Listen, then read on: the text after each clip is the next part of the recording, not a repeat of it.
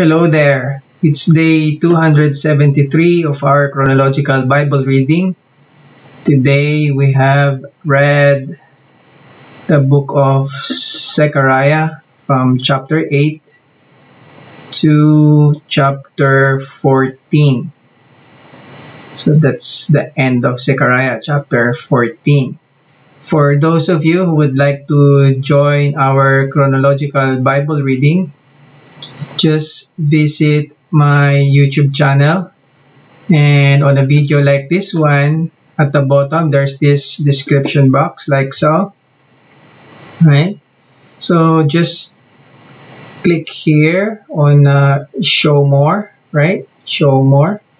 Click there and then just scroll a little bit and you'll see my social media accounts.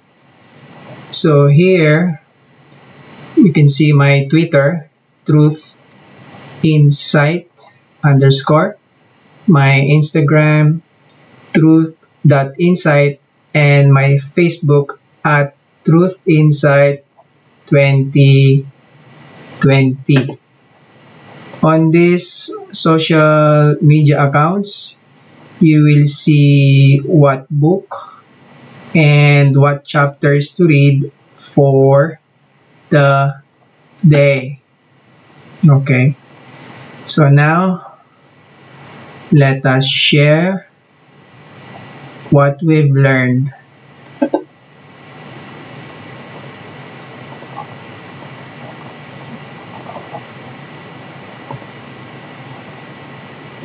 So the book of Zechariah, chapter 8. And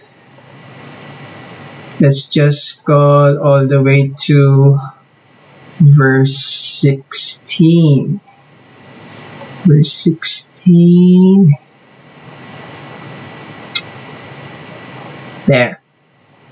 But this is what you must do.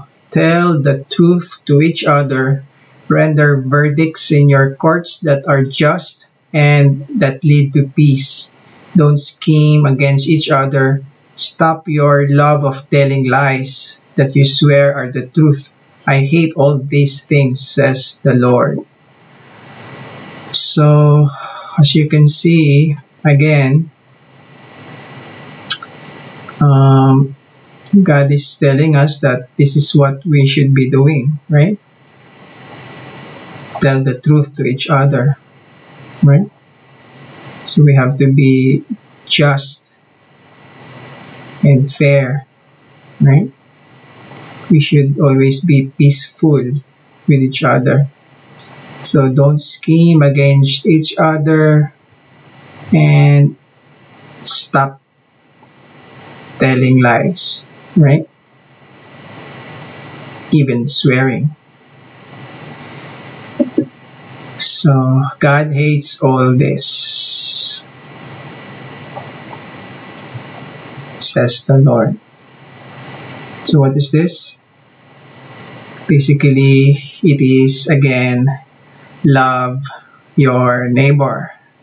So let's jump to the next chapter, chapter 9, and scroll um, to verse 9 right? Verse 9 here.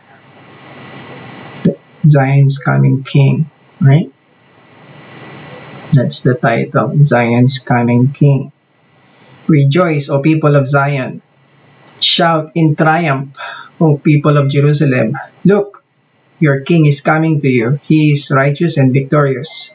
Yet he is humble riding on a donkey riding on a donkey's colt so this one, like your king is coming to you. He is righteous and victorious, yet he is humble riding on a donkey.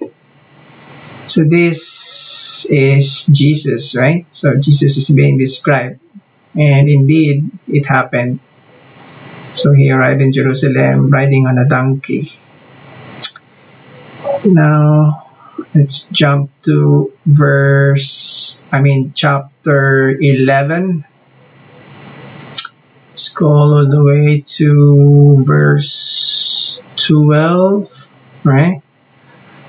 And I said to them, If you like, give me my wages, whatever I am worth, but only if you want to. So they counted out for my wages 30 pieces of silver. So again, what is this?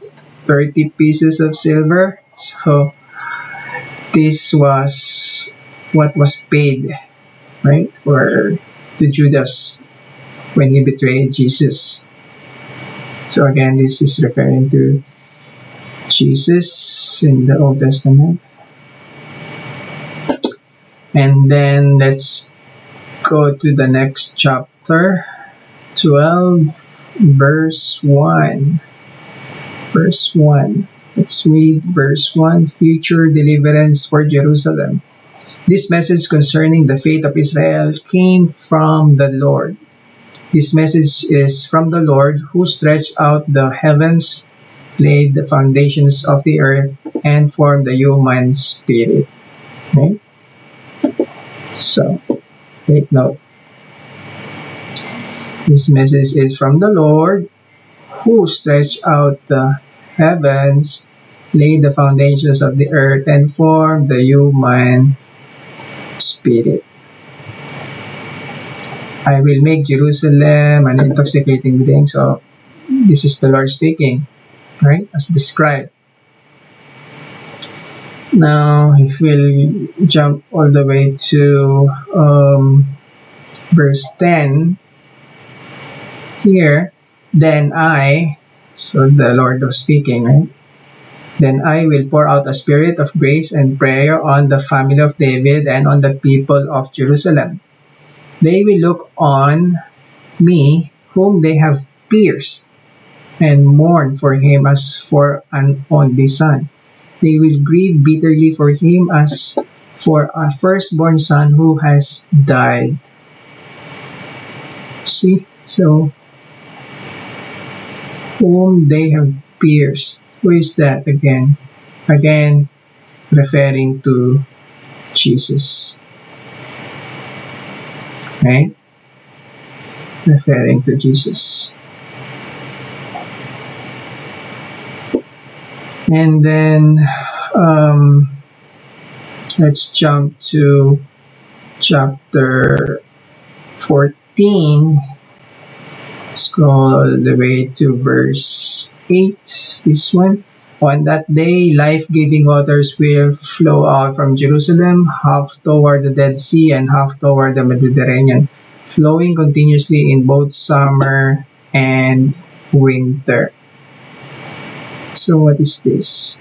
Life-giving waters will flow out from Jerusalem. So this again reminds me of that river described in Ezekiel, right? Right? So let's just Look at it again, Ezekiel chapter 47 here, the river of healing water, right? So, as you can see here, there I saw a stream flowing east from beneath the door of the temple, right? I could see the water flowing out through the south side of the east gateway. And then it was measured. And then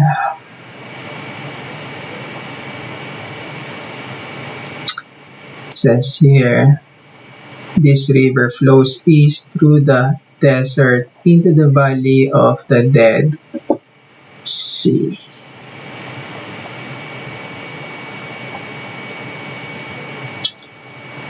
Okay. That's all for today. See you again next time.